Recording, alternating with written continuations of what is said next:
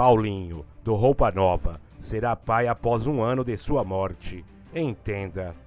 Nas redes sociais, Elaine Soares Bastos confirmou que a gravidez aconteceu por meio de inseminação artificial.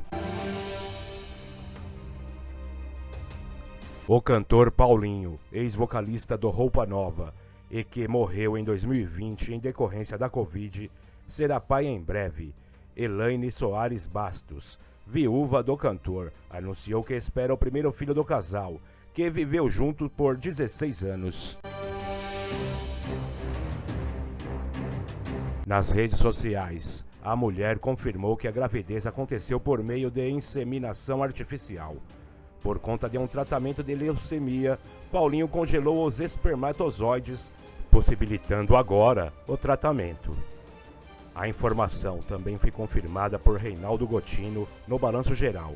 Entretanto, a situação é polêmica por conta da batalha judicial entre a viúva e os filhos do cantor. É uma bomba, porque envolve muita confusão e muita polêmica, se ela é companheira ou não do Paulinho. No meio dessa confusão, ela anunciou que está grávida.